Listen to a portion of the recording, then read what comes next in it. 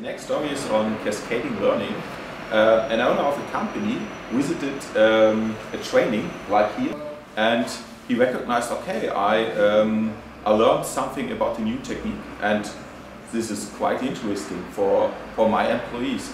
And he thought about, okay, um, which employees should I inform and in, in which way? And he, he uh, found several uh, potential people from his company, but they are all working in different places, distributed, and he recognized that it's quite difficult to bring them all together and to, to inform them in, in a way.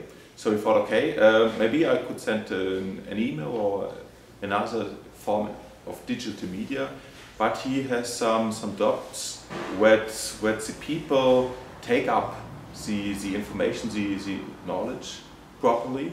And so he decided to, uh, to arrange a large meeting, a large meeting of all employees uh, every three months.